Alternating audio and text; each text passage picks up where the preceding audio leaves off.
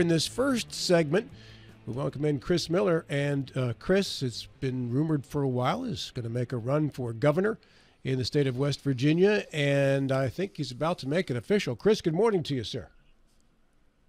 Man, how, how are you guys? We're doing well. Yeah, man. Fantastic. Fantastic. Yeah, I'm uh, filing for my run for governor of the state of West Virginia this morning, and I'm driving to Charleston right now to go get that job done. So looking forward to it. It's going to be a busy day, packed full of all kinds of stuff, and you guys are the first call. Nice. Congratulations, Chris. We appreciate you making us a part of your day as well. Exciting. Always good to call in and talk to you guys. And uh, I'm going to be up in your neck of the woods quite frequently over the next several months. So look forward to sitting down with you face to face, too, at some point in time. Excellent. You, whenever you're in the area, you know, obviously, we got a chair for you here, man. Hey, let's talk awesome. about your decision to run for governor. Uh, first and foremost, tell us why you think you'd be an excellent governor. Well, um, I think we've seen uh, through the past several years that um, people are tired of politicians and want more business guys involved in running things. And I've never been involved in politics. I've made my entire career and my entire living in the private sector, signing the fronts of paychecks and employing people. Um, I've built a uh, large set of businesses. I've got 26 different enterprises that employ about 750 people. Um, we're in five different states, heavily invested in West Virginia, and I want to see our state thrive and grow. And we got a bunch of problems coming down the pike, but we have an incredible, rare window of opportunity where we could do something spectacular. And I'm just tired of watching politicians get involved and not do anything. And so the time is to act. The time is to act now. And I'm a business guy that understands economics and understands how to create jobs. And I want to roll up my sleeves and get to work for the West Virginia people. Chris, what will be some of the most important things for you if you are the next governor of West Virginia in terms of getting things enacted? So it has to be everything that we do has got to be about economic growth and economic development. Uh, West Virginia also has some special things because we're still conservative, we're still a Christian-based state, and we want to retain those values too.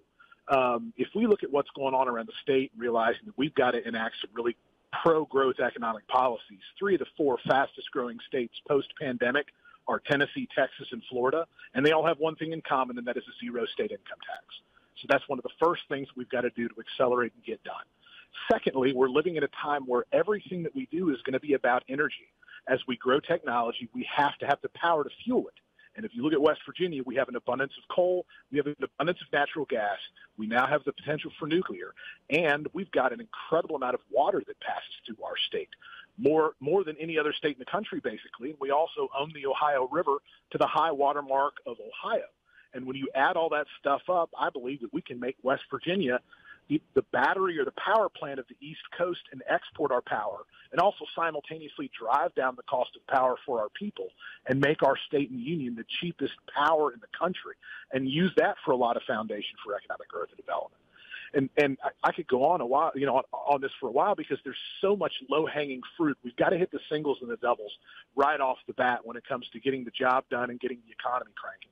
And then we've got to think big picture when it comes to economic growth and development too, because West Virginia, all of these resources that we've got, there's no reason why we aren't the we aren't one of the richest per capita states in the country. The water, the lumber, the coal, the natural gas, and we've got to leverage these things properly to do something for our people. And while we're at it, why don't we start running state government a bit more like a business? Because if I ran my businesses the way the government spends our tax dollars, I'd be broke. And I think we ought to realize we need to respect the taxpayer and start treating them more like valued customers and doing everything we can with a single-minded purpose of making their lives better. Chris, this is not something that's a new idea for you. You've been looking into running for governor for the better part of a year. And in that time, yes, you've traveled the state, met a lot of West Virginians. What have you learned and what have they told you? Well, man, so West Virginians are some of the best people on planet Earth. And one of the funniest things for me to see and watch is traveling all around the state is how tribal West Virginia is. I mean, we're, we're, we might be more tribal than Afghanistan. You've got 55 counties with 55 different perspectives, 55 different groups of people, and they're all still at the end of the day good old Southern people that really just are worried about what the cost of a gallon of gas is and the cost of a gallon of milk is. And one of the most important things that we can do as the government is to make sure and provide tangible jobs and grow an economy to make sure that all these people have the opportunity to keep their kids here. Because if you're talking about the hearts and the minds of people, because that really is what elections are about, they're not about the political class. They're about the people the thing that is on the tip of people's tongues and the front of their minds all the time is, is that our biggest export right now is not our coal and it's not our natural gas, it's our kids. And we want to we want to create an economy that keeps our kids here and provides them a chance to raise their families here in West Virginia too. Bill Stubblefield. Yeah, good morning, Chris. Uh, glad that you joined us this morning. Uh, I have two or three questions, but, uh, but first about your background. Uh, it's my understanding that the uh, the automobile uh, dealership that you've built up is in great part due to you yourself. You inherited the, the kernel, but a lot of the expansion expansion has been through you. Is that correct? Yeah. W- when I got involved in our family business, um, we had two of them and had about 60 employees. And through a lot of blood, sweat, and tears and systematic hard work, I was able to turn that into 26 different enterprises. We're in the automotive space and real estate and insurance and reinsurance and bison farming, and I've got a data and technology company too. But, you know, one of the best things that my dad ever did for me is when I was 10 and a half years old, I told him I wanted a pair of Air Jordan tennis shoes. And when he found out they cost $125, you know what he told me? Get a job. And so I got a paper out, and I've been working ever since.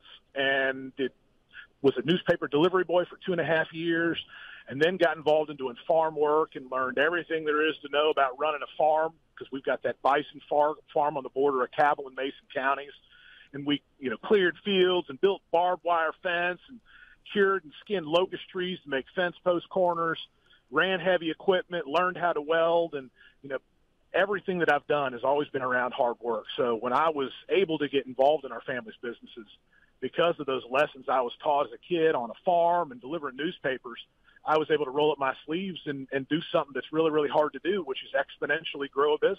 That's what I did. Yeah. Uh, Chris, in your one of your write ups, I noticed that uh, you highlight several things that you'd like to work on. Uh, one would be education. Another one, you say you'd like to reduce power bills by something like 70 to 80 percent because of our abundant energy. You mentioned foster care. Uh, you mentioned two or three other things. All good points, ones that we're somewhat familiar with. But then you went on to say that one of the most important things we should do is to realize the surplus needs to be conserved in a much more future forward thinking. We have to look at the budget cycle that's going to turn down in 8, 10, 12 years down the road. How can you reconcile uh, uh, the money that we need? And you say we need more money in the foster care, we need more money in education, and yet preserve the surplus that we're sitting on? Great question every single thing that we do in the future and every single problem that we face can be solved with solid economic growth. And the thing that we have to do over the next 10 to 12 years is add about 200,000 people to our state. And what we do by doing that, by enacting real pro-business, pro-job creation type policies and drive the population to the state, because we already know that data company that I told you about, that data company basically tells us that we're in the beginning stages of a demographic shift in our country. People got tired of being locked in the cities during during the pandemic, surrounded by concrete, and they couldn't go to the church, see their friends and family, and that kind of stuff.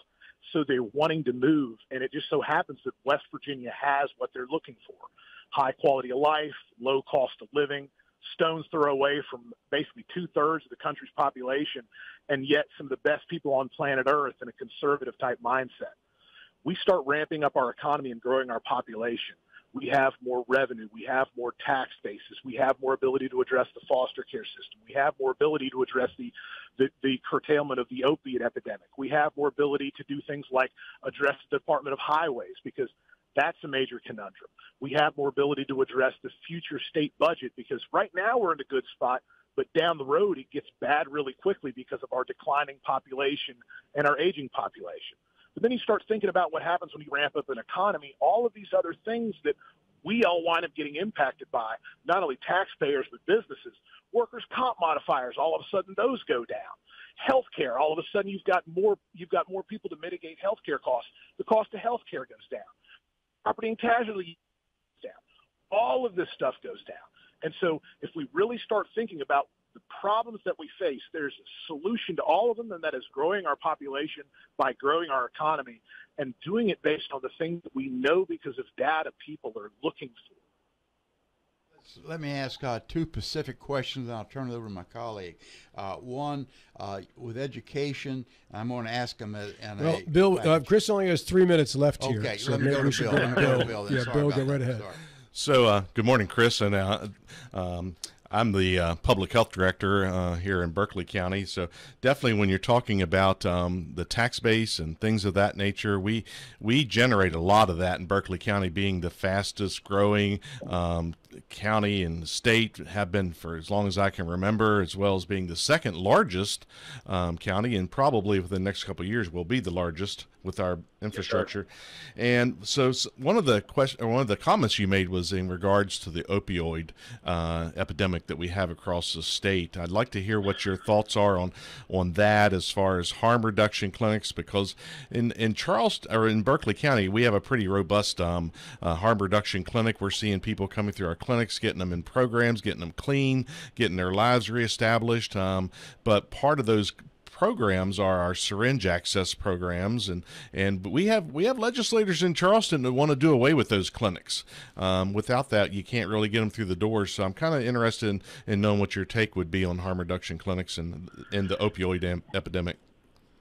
So definitely want to touch on this first. The Eastern Panhandle and right there in that market in Martinsburg is going to be one of the most important areas for economic growth and development to save the state of West Virginia, by the way. And it's something, in my perspective, traveling all around the state that anywhere that you go, the northern panhandle, the eastern panhandle, everybody thinks that the resources go to the wrong place. We need to make sure that we have the appropriate resources to support what the Eastern Panhandle is going to be doing for us in the future when it comes to actually saving the state because where it's geographically located, right there by Maryland, right there by D.C. Um, one of the other things I definitely want to touch on is, is that there will never be a governor in the history of West Virginia that is more passionate about cleaning up the remaining issues with the opiate epidemic than me. I've been sober from alcohol and opiates since April 1st of 2004, and I understand the struggle and I understand the battle. Um, I don't think that we get rehabilitation right still to this day. I think we need to focus on rewiring the pathways of the brain of the addict, and it takes 13 months. You got to incorporate one-on-one and group sessions. You have to incorporate responsibilities. You have to incorporate jobs. You also have to make sure and incorporate rigorous exercise because that's one of the most important things to do to refire all of the pathways in the brain when it comes to producing the dopamine and the serotonin needed to maintain stability and sobriety. And then also, you know what else we need to do? We need to incorporate trade training inside of rehabilitation because the number one reason for relapse is lack of economic opportunity. And we have an entire generation of kids that haven't learned how to do anything. They've gone, some of them have gone off to college and got degrees in art history, strapped with student debt, and now they're living in their parents' basement.